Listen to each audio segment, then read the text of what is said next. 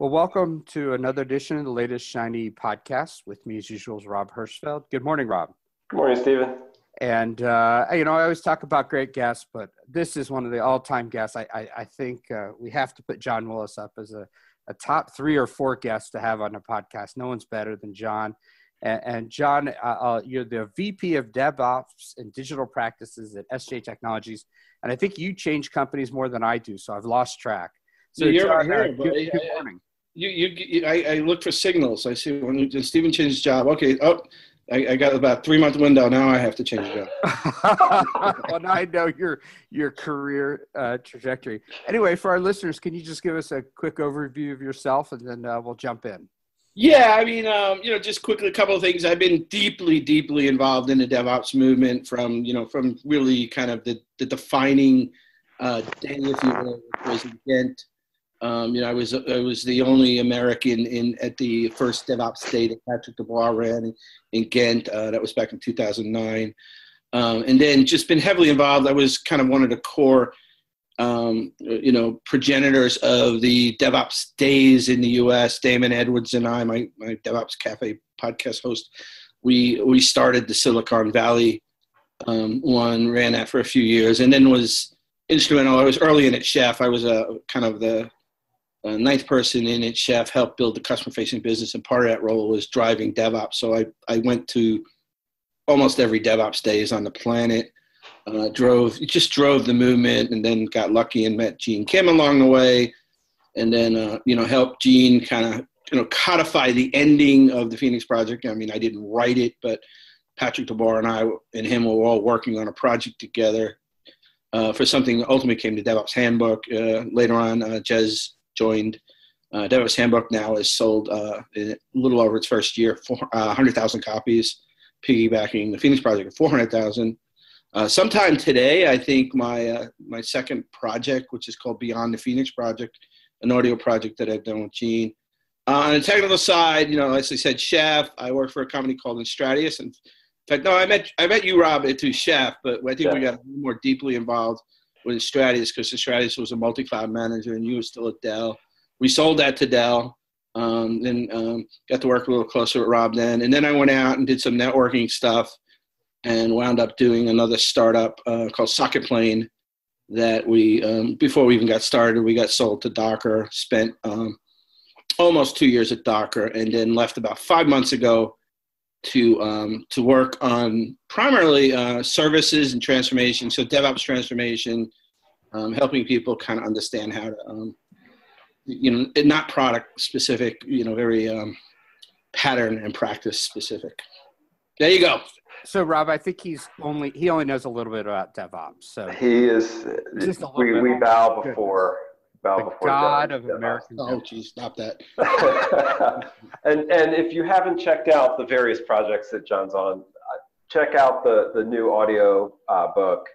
Or, uh, is it you're calling it a book? What's the how are you? Yeah, it's a weird thing. I mean, I, just quickly, there's an interesting explanation. That is that you know the Phoenix Project, written by Gene Kim, um, uh, Spafford, and Kevin Behr. That was a purposeful rewrite of Elliot Goldratt's The Goal, the father of theory of constraints, right? And 20, in 1983, um, Elliot Goldratt wrote The Goal. Um, and it's a novel. It's a novel about a factory and automated robots and enclaves. And Gene had a kind of a 10 year uh, goal to write, you know, very specific and e- even took a, a PhD, uh, a graduate level course, sorry, graduate level course on theory constraints to make sure that they got it so right to do a modern day version of the goal, uh, a purposeful, architected, isomorphically mapped to the goal. Uh, some people say, "Well, he ripped off the goal." No, no, that was the point. and you know, that, yeah. yeah, and it was yeah, right, and and um, you know, and and the you know the constraints in there. You know, won't give too much away. Most people have read it. I'm sure almost everybody's on this listening to podcast. But it's it, instead of like automated robots and enclaves, it's a um, Java coder and uh, basically a Java Tomcat stack, basically, right? Which is brilliant, right? But what Elliot Goldratt did is 20 years after he wrote the goal, he did this audio only book so it's kind of weird. Like you asked me, is it a book, right? It like it's listed as a book, but it was audio only. Be called Beyond the Goal. So about you know a little um, you know maybe a year ago or so, I approached Gene about like would it be interesting to do a Beyond the Phoenix project. So that oh, that's really so it's a it is audio only. Uh, although I think we'll we'll kind of might do this in reverse order, right? We we started audio. we might actually turn it into a book because the the content is just. It makes sense to me. And, and one of the things you didn't mention is that you, you and Damon used to do um, a DevOps Cafe podcast. So Yeah, we Uh, still do it. It's just we're so lazy that we got like our uh, our latency. It's gotten like ridiculously bad between podcasts. So makes perfect sense. So for this, if you want to turn the tables on me, I'm I would be honored. But um, so let's let's keep it conversational, and because this this podcast really comes out of the the classic John and Rob have a hallway conversation. Um, and we we figured, you know, we should record this because some of the topics we're we're discussing are industry broad ones that that you know you, you pull other people into that conversation in the hallway, and and so Yeah, no. effectively us pulling people into a conversation in the hallway to talk about SRE, DevOps, uh, Kubernetes, stuff, Docker, open source. You name it. You know, it's funny. Um, Damon and I, for almost the first year when we met, we'd have just these conversations almost almost every week, but at least a couple of times a month. And at one point, I, I, I said to him, you know, we should be recording this, you know. And then we're like, yeah, duh, you know, because we have these amazing discussions about early days of DevOps and what, you know, what what was going right, what was going wrong, you know, our opinions about the industry. And it was just really good stuff. And anybody who's listened to our podcast, we we we match really well together conversationally, like me and you. Still, still very timely. So you had two or three things on your mind that you wanted to start with. Um, where do, where do you want to go? Yeah, you know, I start with Docker. You know, I think it's, um, I, I, you know, I, so you know, right now, as we all know, and you know this because you know you've been doing a lot of bleeding edge technology for for ever since I've known you. But in the space where it is now, kind of next generation platforms, Kubernetes. I'm, I'm I- laughing because automating physical servers doesn't feel bleeding edge, but Yeah, no, yeah, but you're like- entirely right. Right? Like they, they'll, they'll figure it out that it is. But um, but but um, the the thing I I get frustrated with, right? It's already you know you go to these large corporations, and I when I left Docker, I started going um, Mhm. just visiting companies. It's something I used to love to do, uh, kind of pre-Docker days. Um, which is you know somebody talked to somebody and said, yeah, I- I'll come there for a day, and I I do this trade where I'll like say. You know, I'll do a lunch and learn. I'll do executive briefings, but but what I want in return is I want to spend some time with your teams. right. You know, I, so so it's not like I'm just going to come there and speak. I mean, like the, the trade is, you know, in the morning I want to meet like I want to meet some of the teams that you really struggled to get, you know, adoption or transformation. And so since I left Docker, I probably visited almost 15 companies now, right? So it's been a blast. But you know, so you go in and you know you'll see them talking about you know where they're at with platforms, and you'll ask them about next generation platforms, and you get some scratches in the heads. And most everybody in the room has heard of Kubernetes, and either they're they're running some you know pilot there. But then I'll say, well, you know, what about Istio and Envoy? And then then then it drops like precipitously, right? And that like the whoa, what's that, right? And I'm like, you really need to know about these things if you're uh, if you're doing next generation, you know, um, platforms, right? And then like, and then So- I'm going to talk about the things beyond that. So, but my only Yeah. point, the point I want to get to is not a debate of what you should have or shouldn't have, is that it is daunting the task that large enterprises have to deal with now in terms of the complexity and the new stuff and all the stuff that's like they don't even know it's getting thrown at them. And so to Yeah. bring it all the way back to the kind of Docker discussion, like I think everybody thinks they're safe with the quote unquote Docker discussion. But what you know, Docker did something um, what a little over a year ago, where they um, they changed the name of the project to Moby, right? And uh, Right. so so the thing is, people run around and say, "Oh, we run Docker, or we do Docker," and I'm like, "Hold on a second. Trying to fix the brand Right. confusion problem, right? Um, you know, because you're not running Moby. You know, like I, I don't know anybody who's running Moby. To be honest with you. Um, and and- Moby's the open source. The open right. So what they did is, you know, it was really kind of what a what like a Red Hat play, right? Which was, you know, there was a back in the day. Um, now some people say it wasn't like the the the ends when the, don't match what what the um, you know what the task was to do this, but in the end. What Docker had as a problem was there were a lot of people making money on Docker, and you know they weren't really enjoying the ecosystem around them, right? Because Docker was so good, the open source Docker worked so well, right. and it, And so what they did is kind of what Red Hat did, you know, and they did want to actually protect the community too, right? Like, you know, so Red Hat had the problems, so um, you know, so they, you know, they went ahead and um, they kind of split out Red Hat, you know, the license, and then they created the open source, right, um, mm-hmm. uh, project, right, and um, you know, and, and it was a way to say, you know, we have to create some momentum for the business, by the way. At the end of the day, open source is a business, you know, at some point. And but we do we don't want to just abandon and say, oh, by the way, tough, you know, all that stuff we've been giving you for free is now no longer available, right? So they did this compromise where they kind of renamed, um, you know, GitHub Docker Docker to Moby Moby, and then right. they had um, then they created kind of the um, like for, like Fedora for Red Hat. Yeah, that's what I was gonna say. It was like a Fedora Red Hat, you know. So like, okay, you know, it's still there, like you take it, but now you um, you know, the Docker, like to call it Docker, and by the way, trademark Docker, um, is um, you got to basically work with a sales rep. Now there is a community edition, but but the truth is, you know, you're either you know probably gonna um, go um, I, I, mean, again, I don't think you know. I, I, I get the impression, and I could be wrong, and people can write in and call me a jerk, but I don't see a whole lot of people taking Moby and moving forward. Um, there's a fair amount of people yeah. running community edition of Docker, but I think that's just a holding pattern. You know, waiting to see what you know how the maturity level of the kind of um, you know the OCI container stuff really so, fleshed out from Google. So the, the main point right now is because I just I do want to hear some of your opinion on this. Yeah. Is so that I have a whole bunch of questions for you. Very people are extremely confused because a lot of people just think, oh, what do you mean? I'm running Docker. I'm like, yeah, you really aren't running Docker. You're you're running an uh, older version of OpenShift that supported Docker, but your next version is going to be a new is not going to be Docker's containers unless you force it to go to a Docker sales rep and say we want to run Docker Enterprise Edition with our OpenShift, right? That's, and the OpenShift is like, true. why would you want to do that? We have a container that's OCI compatible, and I know I'm some people, some people, poor listeners, um, you know, that uh, that have you know runC and containerd, and it has like most of the componentry of what Docker has, right? Which is the same thing Google's saying. So, so, so to meta meta end this long rant of mine, um, yeah. there's just incredible confusion out there right now about what is a container and what is your container strategy as an enterprise? Before we untangle that, do you mm-hmm. distinguish between production runtime for for containers and developer tooling for containers?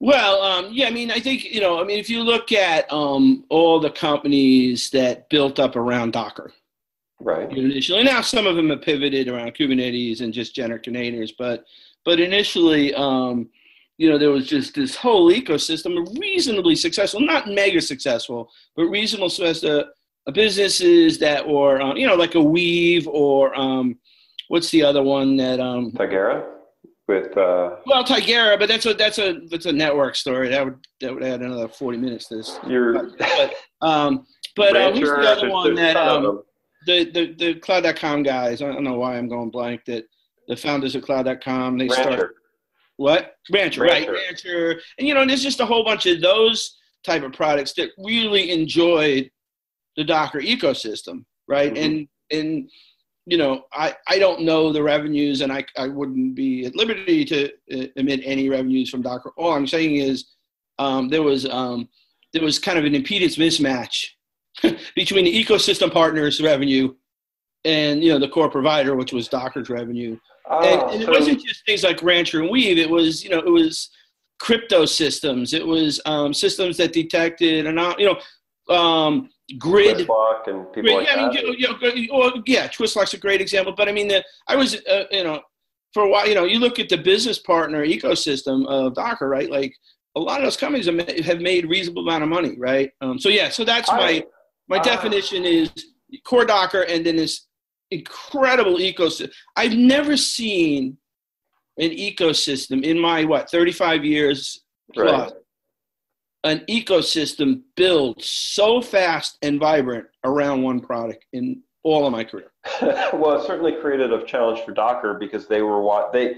I, some of what uh, I'm, I'm going to untangle a little bit because I don't believe that your statement of success for the ecosystem is as commercially valid as you're you're saying. I, I, think that there were a lot of companies that raised money from VCs around a, a container bubble.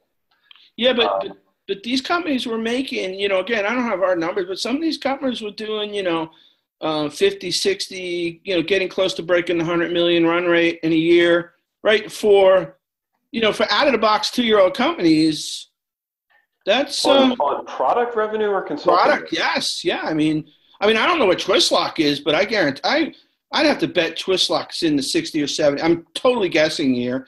Um, you know, and then I, you know, I, I think I've, I've heard rumors of Rancher doing, you know, not, not 100 million plus, but, but uh, reasonably high. And, you know, I, I, guarantee you, if you had the, the raw data of the, the, companies in the ecosystem, I mean, none of them were like. I, so, so this, the, I, I, I'm a little skeptical uh, on, on some of this. I think you're right to an extent, but I also watched this very aggressive pivot towards Kubernetes from some of those same companies that thought that they were going to have standalone solutions. I, I, I don't and, disagree, right? And and that was the nature of the beast, right? In that um, it clearly became you know, the conversation three years ago was Docker, Docker, Docker, Docker, Docker.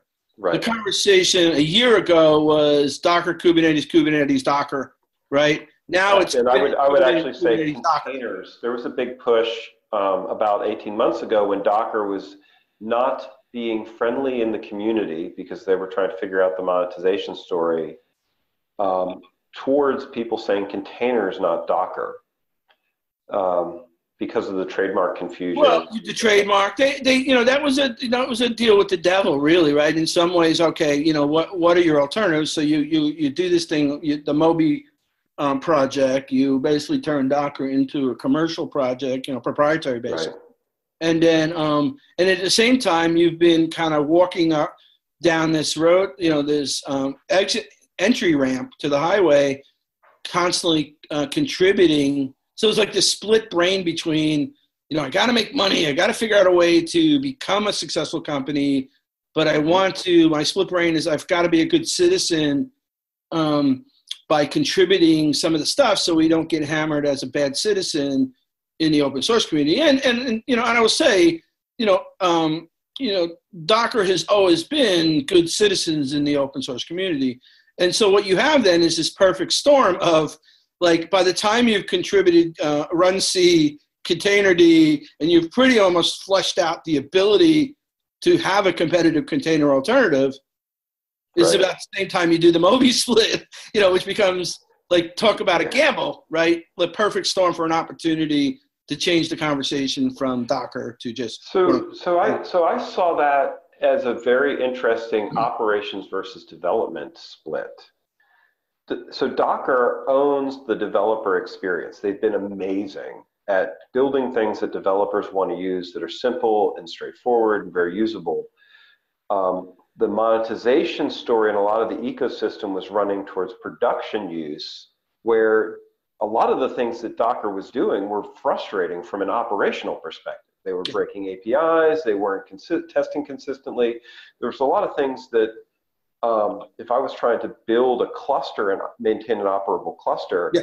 I, no, I, I, mean, this is what we were doing. No, Docker no, you're, was... spot on. I mean, I think we're we're we're sidelining multiple conversations here, right? yes, we are. There was a perfect storm for a confusion. There was a perfect storm for bifurcation of Docker versus something else and then right. you're absolutely right. There was a long thread of Docker doubling, tripling, and quadrupling down on the developer experience, thinking that you know that would take them to the promised land. Hmm. Although there had been never an example in our industry, you know, maybe some of the Oracle tools, but you know, Andrew Shafer has this brilliant quote that I would never say when I worked at Docker, but he said that you know Docker will become the PDF of containers. In yeah. other words, like PDF is like probably the most successful software product ever made, right? And uh, but like nobody pays for it, right? And uh, you were at Dell. I don't remember. Um, Dell had acquired um, the it was the the large uh, software. My boy, my memory's getting Quest. Hard. Quest, right? And so Quest had acquired this company way on. There was a it was a, um it was really an Oracle tool called Toad, Mm-hmm. It was a free tool, and if you were an Oracle DBA, you work Oracle, it was like a brilliant free tool that almost every. I think at one point that they said that um, that was 30 million people used this product. And the dev team was uh, you could you could count them on one hand. Nobody paid for that. Nobody paid for it. I remember a discussion at Dell. I'll probably get in trouble with this, but I've been long enough gone where somebody wanted to look into the monetization of like this has got a thirty million dollar customer base. It was like, yeah, little too little, too late. In other words, it was an amazing tool that you know thirty million people around the world were using, and the basically you know I won't say zero revenue, but in the grand well, this, uh, this to me is an industry problem that we have got to confront because our free software versus open software and right we are not as an industry figuring out how, how to pay for the sustaining of software it, it, it's right. a, you know I know I know in the beginning we talked about like what were the subjects we were talking about and we thought we'd shy away from open source but I I think you know that one of my big fears. Now, this is the see we call this the all over the place podcast, but uh, the um, you know, one of my big fears is exactly that. In that, um, you know, it's even worse, right? The problem with open source software, first off, is when it's a great product, you don't have to pay mm-hmm. for it. Chef was like that. Puppet was like that. In fact, the biggest enemy, I heard the first sales rep was Chef. And I remember, uh, you know, Ronnie, Ronnie Jones, a good friend of mine. He's at Evan and IO now. He's doing really well over there. Um, and he said, at one point, he says, you know, what's this, um, you know, you know, the, the chef tool, the, you know, the kind of, uh, oh God, it was the, the command line interface chef thing. He said, you know, what's a Chef Solo? I'm like, well, it's a tool that comes with thing where you can run kind of in a standalone mode on, on a single node. And, it's killing me. I call these people and they're like, nah, we use Chef Solo, right? Uh, not even the free chef. Um, you know, so what happens is you got that. So you got people who, who uh, you know, the web scale mentality is um, like, we're going to do this. We're going to roll our sleeves. We're going to take one source. We're not going to pay anybody for anything. Um, you know, one more anecdotal story. When I, two weeks after I was at Chef, I went to this chef meetup and uh, the Wikia, um, who, you know, ultimately became um, you know, Fastly, the guy those guys at Fastly, mm-hmm. they were telling me, oh, they're, they're using Chef, and you know, like go go talk to them. And and I talked to one of the guys, and I'm like, yeah, we're we're about to sell, you know, um, a SaaS based version. He goes, well, first we're not going to use SaaS, and two, we would not pay for open source software. Like that's what we're good at. Like that's right. that's what we do. Like well, that's why we're better than everybody else. And then you add in the cloud guys, right? The cloud guys take everything they can from the open source community and they don't pay a dime to anybody. So Correct. theoretically, at some point, you'd think that maybe VC funding for open source projects could dry up because there's only been one six, there only a couple successful exits. It's not could, is. Is.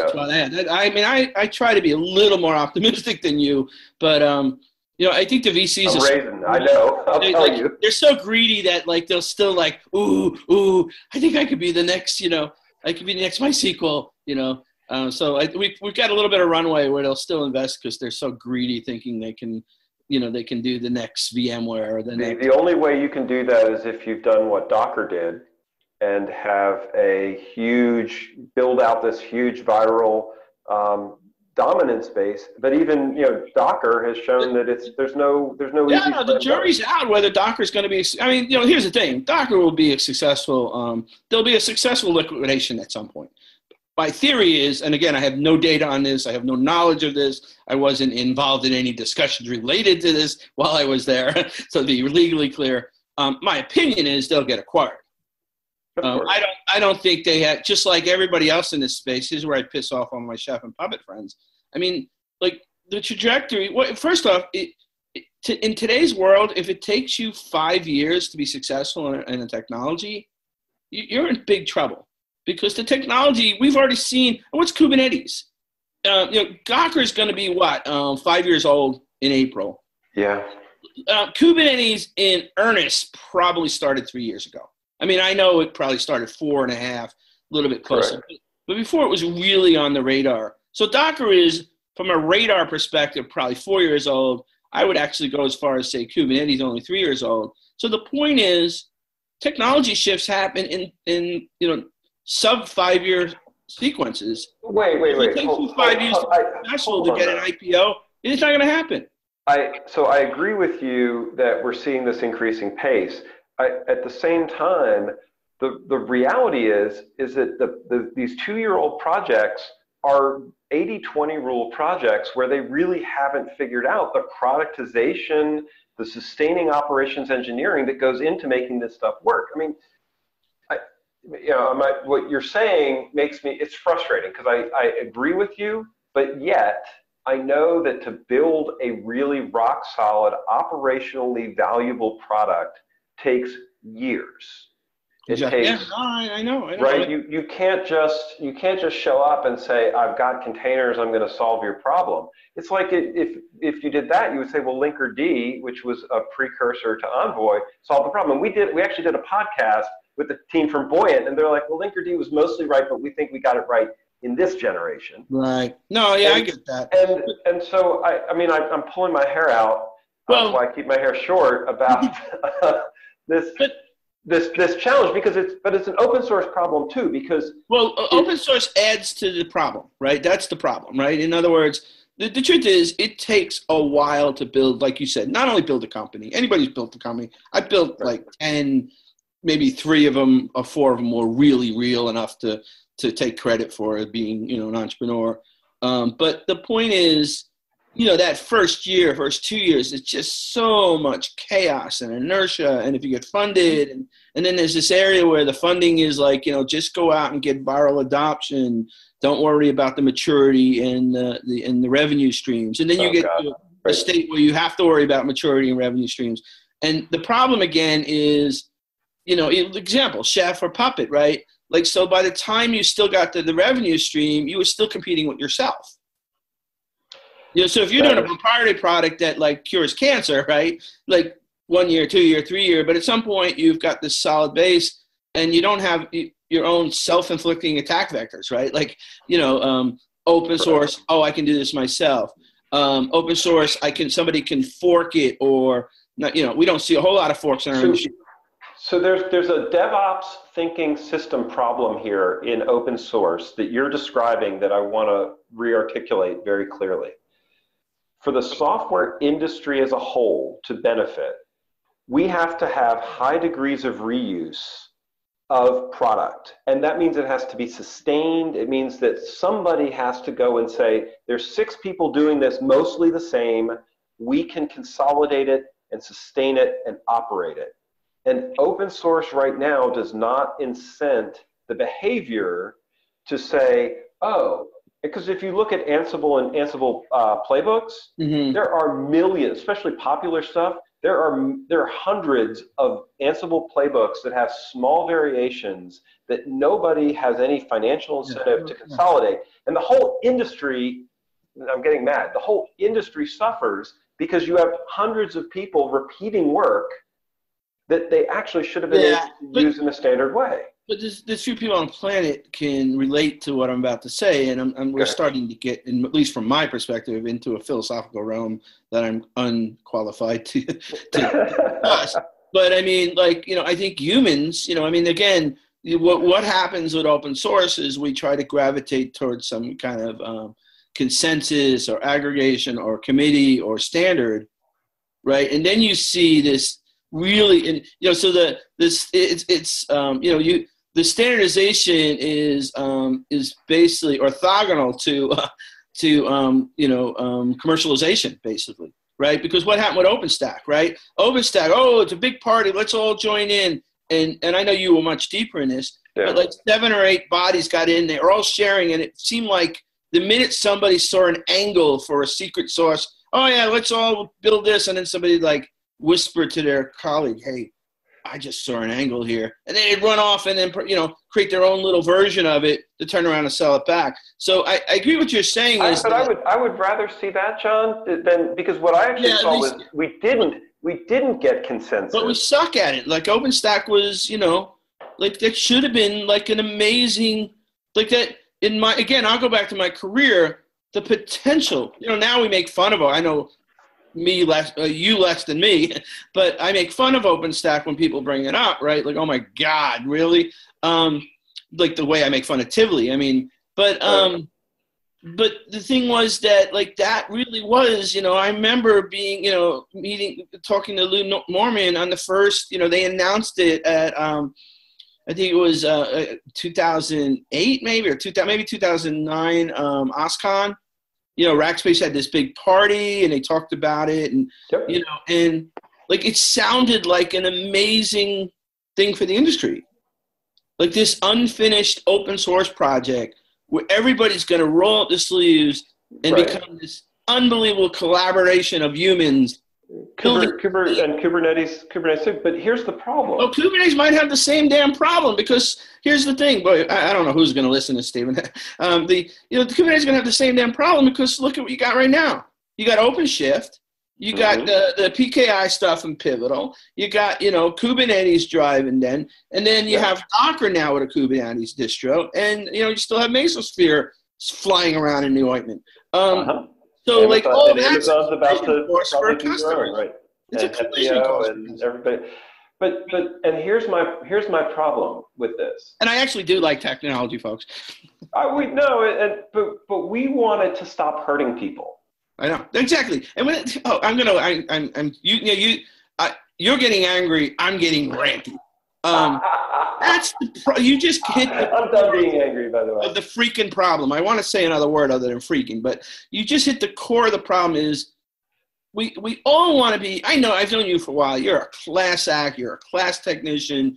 Um, same thing. We like the reason I do DevOps is I want to help people get this shit right. Yes. But the problem is, in the aggregate, we screw it up every time.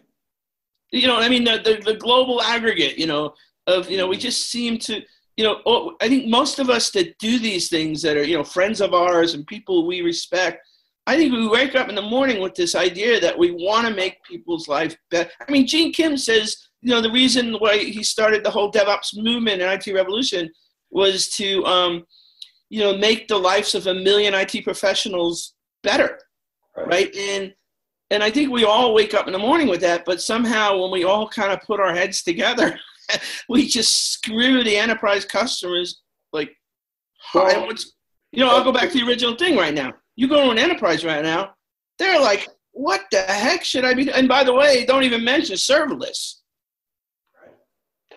No, and, and this to me is where in open source we assume that somebody's going to fork and maintain. Yeah. And and when you do that, you you take away vendors' ability to support and sustain.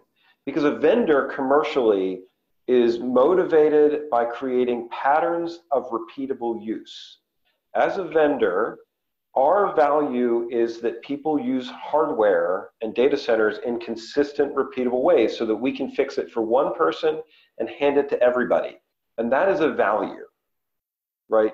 The problem I, I'm, I'm trying to struggle with with open source right now is that open source is not incenting this pattern of behavior where if one person breaks, then the, they can, there is somebody who has a, an incentive to improve the efficiency of that fix, making it into everybody else in the community. And where OpenStack fell down was that every single deployment, because of the vendor fragmentation, because of the open source fragmentation, none of the operational, which is really where people get value, the operational com- constructs weren't flowing back into a, a way that we would efficiently redistribute those fixes because there was no financial incentive to do that. Well, and Like, And- Rant and over. Sorry, that's my right. Like the whole idea of a fork, right? Fact, There's only been two successful forks, as far as I can tell. Maybe there's more, right? Is the Ubuntu and it was the uh, fork of Nagios, right? And that arguably, you know, I mean, it was successful in that they actually went through it. They turned a business into it. Um, but like, you don't see forks. And in fact, when you and, and again goes back to, uh, I didn't know this was going to be a rant podcast. It goes back to the only way open source really gets going is like the, the whole model's kind of broke because open source, like you said, should be this this model of sharing and contribution and then reusability through the fork mechanism. But what ha- what happens in like all the projects I've been involved with in the last say ten years, right? They get venture capital, right? So like so immediately the, the whole thing is um, completely um, bastardized from the get go. And then, like, what you see then on most projects is a protectionism around the core of the project. I asked Luke Kanies, I'll get myself in trouble, but, you know, I, I like Luke, but you know he's had he's had some battle scars and the way he's behaved over the years. And um, and you know I asked him what you know what he thought about uh, somebody forking Puppet, and like his face mm-hmm. got red. He got mad, right? Um, I asked Ethan Galstad about the fork of Nagios, um, the guy who was the original um, creator of Nagios. I mean, he was furious. You know, um, yeah and and then some people like you know Adam Jacob's a good guy and a chef, and I'm sure he would say in public, "Oh yes, please go right ahead." But the truth of the matter is, if somebody forks Chef, there'd be absolute chaos in the kingdom. Right. I mean, well, the, yeah, the so, value is sustaining, and this is what to me we we we don't talk about well, and we're I want to talk about SRE a little bit, so. Um, we'll, we'll, we'll just, we'll have to shove it. But the op, this is, I've been spending a lot of time, and if somebody's listening to this and wants to get on the podcast and talk to me about the operational imperative around sustaining software and open source software, I, I am spending a lot of time thinking about this right now. John, you and I, we're just touching the surface on, on where this really needs to go. You, know, you want to talk about SRE, so. Well, let me do this one last thing because I do, you know, I, I, do advisement for a lot of startups, right, including yours, and and um, and you know, I, know, one of the things that the questions comes up really early: should we open source this, John, or not? Like, and I'm like, I, you know, I don't know. Know, I mean, you know, I'll give you my opinion, and I say that I, I, I give them the um, the the kind of what the, the way I describe it is there's two arcs with um, you know, with these new bleeding edge technologies. You know, it, there's an arc of viral adoption. You know, the the kind of the Docker original arc, right, or or even Chef arc, right, and and like and then there's the actual monetary, the revenue arc, right? And one of the problems that is if you don't really know what you want to do from a liquidation standpoint, and, and, you know everybody like, oh, we're gonna, you know, we're gonna run this forever, you know, and that's the the grandstanding version of every company. But you really need to sit down in the beginning and think about, am I going for an acquisition in, you know, zero to five years? If I'm going to an acquisition in zero to five years, probably these days, probably three years, then I want to really beef up the um, the viral adoption arc, and in which case I want to open source, and I want everybody on the freaking planet to have a touch point with my stuff. Yep. But the problem that you have is if if you're actually going for the long haul, right? You know, I mean, like again, you get these companies, they get out, you know, they think they're going to IPO, right? And the and the stock market has been very brutal. Like in 2016, Pivotal and and Pivotal and um, and both Puppet was supposed to IPO. Mm-hmm. In 2016, was, the beginning of the year was like a scary beginning of the year, and all those got called off. Yep. So they all got pushed back two or three years, even on, you know, when they were actually, you know, run rate ready. You know, at least Puppet was finally run rate ready for an IPO in 2016, and now there's rumor of 2018. But now 2018 beginning it looks very much like the beginning of 2016. So I think they're all going to get scared off again. So the question then is, you know, these people get IPO fever, right? Like they think, you know, oh, we're going to IPO. And, and so now they start turning down 200, 300 million, 400 million dollar offers. Mm-hmm. They think, oh, you know, like if we IPO, like, you know, we're going to make a billion dollars, right? And, and, um, but un- unfortunately, at some point that arc changes. Like the the crossover uh, revenue. Some, somebody said it's a modified quote. They said the worst thing that can happen to a successful open source company is they can actually start making money right? because then the revenue arc starts. Yeah. And when it, it, will cross over the optical arc, and at which point now the the um, the industry, the buyers, the mergers, acquisition, possibly even um, you know banks that might think about taking your IPO are going to be not focused anymore on your viral adoption. You know, as soon as that, you know, you get this viral adoption, it's amazing, and all of a sudden your revenue arc starts to get close to that, and now the revenue arc becomes the arc that everybody watches. So back to my original point, I tell people if you're going to sell this thing, if the goal is to sell this thing in three to five years, you don't have to tell all your customers that's your goal. Then go for the open source arc and get everybody on the planet using it. Right. But if you're going for the long haul, I'm going to build a company, and I, want you know, I'm going to go ahead and try to build this and and create solid revenue growth. You know, people, what I create is what people are willing to pay for. Right. It's another problem with open source. Right. Like prior to open source, companies had to validate what they did, and their validation was what people, what the market paid for it. Open source creates this weird um, you know um, this weird edge case where you, you get validation in a weird way. Oh, we got you know, I got like 18 million downloads. It's not. It's not. Well, this it's not real. So this is, and and I think you and I are going to have to plan a part two podcast. Yeah. To cover So yeah, other, I do other fun- another time. But like this, the, the final say is that No, but but but, but go you, proprietary. Do not go open source. If the long haul is to create a great product that customers are gonna, that your belief system and your business value is that people are gonna pay good value in the market for that solution. And by the way, that's a constant tension that you kind of lose with open source because you get away. I mean, if, if you're in a revenue arc from day one, right. you know like every quarter what's going on and you have to be more aggressive about you can't i mean look at docker again i am ranting like hell here rob never invite me back on one of these You're you have a front seat anytime you want. No, I mean, that, I think that was problem problem with Docker, right? Docker would like have these, you know, Solomon was a great guy, brilliant young man, like a lovely man. I do, you know, I I, I think dearly of him. He helped, um, you know, instigate the acquiring of my company. I mean, but he didn't have any of that monetary tension. So he would say, okay, well, let's just go ahead and do this. Let's go ahead and do Right. this, right? And none of that got validated against customer, you know, what customers would pay for it. If you go with a proprietary non-open source ARC, there's only one validation. Are people paying you the fair market value for your solution? And it actually creates a better ARC in terms of your technology and your product. But again, it comes down to what are you actually trying to do with your business? So so this is so RackN's doing a blended approach, which maybe we're nuts for because Digital Rebar for us is open is open source because it's replacing Cobbler, which is open source. And so we are very deliberate in saying if you're replacing Cobbler, we will help you. That you know, it, nobody's supporting it. It doesn't keep up. There's, there's right. We will help you because that's a that's a community benefit.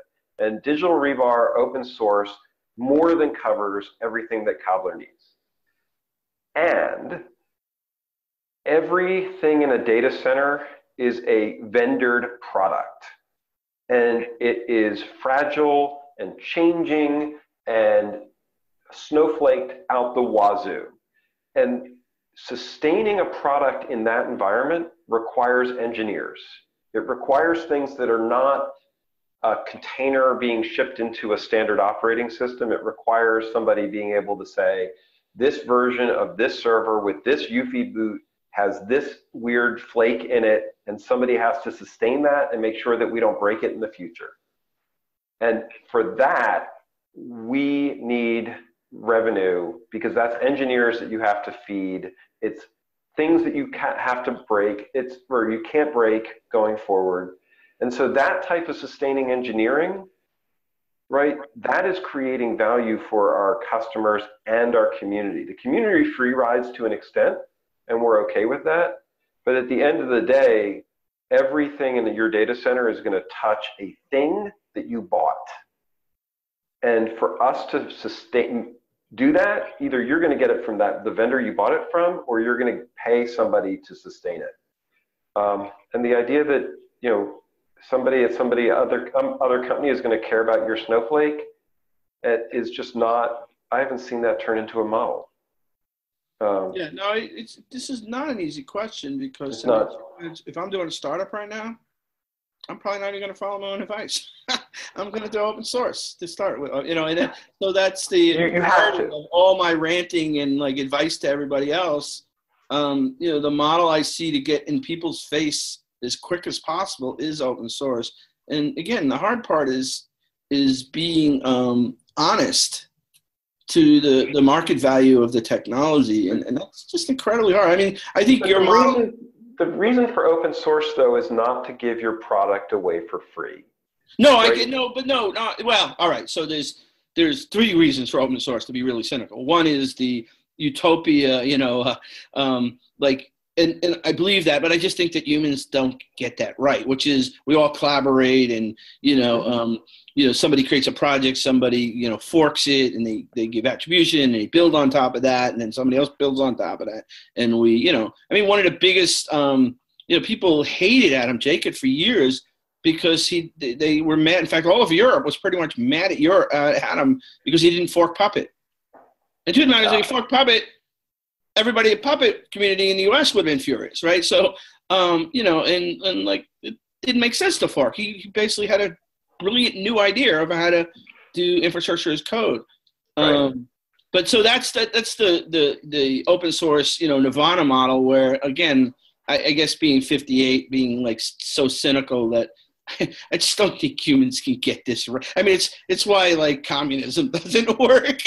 but but right. but second, but the second one is um, is the one that I I tend to fall back to, which is like this idea: if I can get lots of people using, it's not about being free. I agree. It's like, and it's not just like getting everybody to kind of clone it or start or use it or contribute or write blog articles about it or right that becomes an amazing ecosystem that like these you know joe schmo from idaho writes a four page article about how brilliant your the part one is how brilliant your technology part two is an, an exact explanation of how to install it all the things that get in your way part three is a use case for an application right and you don't even know this guy and there's no way he would have paid for the software you know if he couldn't have just you know get Correct. right?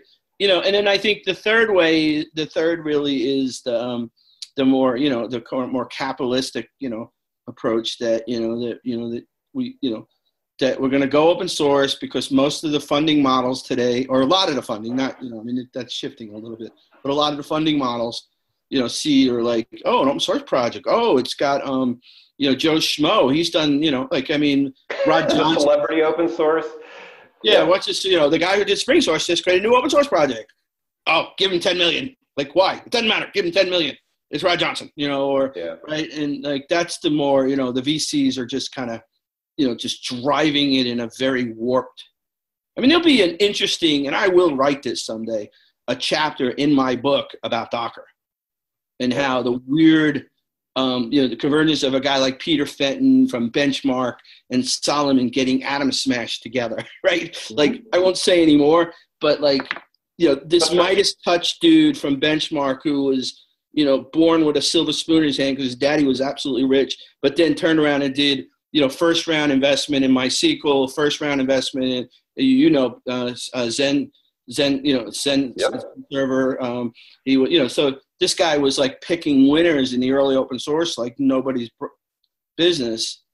Um, but you know, these guys are sharks. VCs are sharks, man. I mean, uh, they, you know, somebody said one day that you know, they they won't even use oxygen unless they think there's actually a price point for the exhaust of the oxygen. I mean, so so let's we, we need to we need to wrap up this podcast but uh, I'm going to work with you to schedule a second a second time so we can talk about. But this might be my worst podcast ever, guys. I don't think no, I've ever. No, no, no, Just the opposite. This I think imagine like people like, oh my God, who is that? Crazy? No, this is this is where John lays down truth and. I, have never gone this in context. That's what this is. This is what we like to do on Latest Shiny. This is exactly the type of conversation. The, the, not not just the what's, but the whys.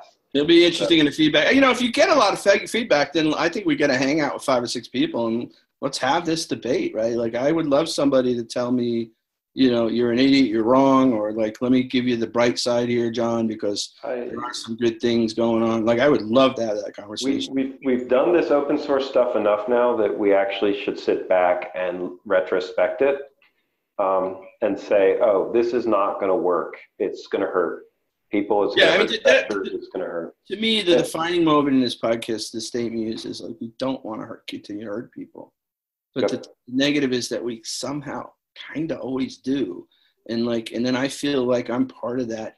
I'm guilty for being part of that system. You know, I mean, at the end of the day, I mean, that, I mean, that's why I don't even really do product now. I do transformation, but the problem is everybody I go to, like, yeah, yeah, that's awesome, John, that's awesome, like value stream mapping and and you know, Toyota Kata and, you know, all the things that made like Toyota incredibly successful for 60 years. Uh, yeah, that, that's interesting, but can you install Kubernetes with for us? You install, this, I love that DevOps. All right, all right, so, so I, we have to, we have to wrap. The, all right, all right. Good, the, good. the, the point of lean DevOps Agile is respecting people. I'm pounding on the table. All right. That's I got I got to do one last awesome Go thing. for So it. I'm going to take up another two minutes. all right. So we did this thing at DevOps Enterprise Summit where we got uh, Dr. Steven Spears, who's like MIT Sloan, one of the leading lean guys on the planet. Uh, he wrote the original uh, Harvard Business Review, Decoding Toyota Production DNA. And then we got Dr. Dekker, who's resilience engineering, um, drift to failure. Um, and then we had Dr. Cook, who is why complex systems fail, right? So we got the three of those guys in a four hour panel.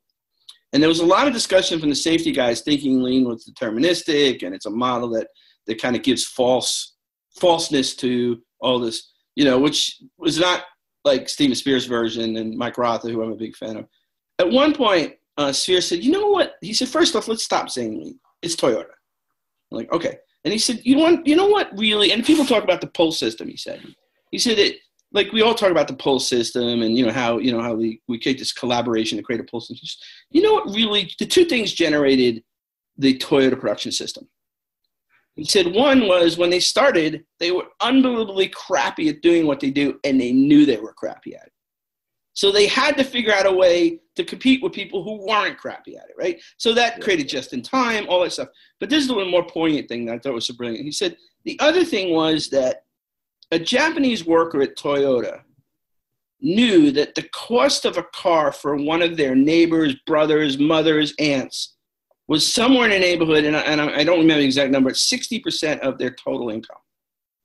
So that means that if their neighbor or their brother or sister were going to buy a Toyota car, they, and because they needed it, like to get to work or something like that, that they were literally forfeiting some plus 50% of their total yearly income Wow. for that car, right? And again, don't quote me on this. Is Spears said, and I had well find it. But here's the thing: he said that everybody in the chain, the supply chain, understood that.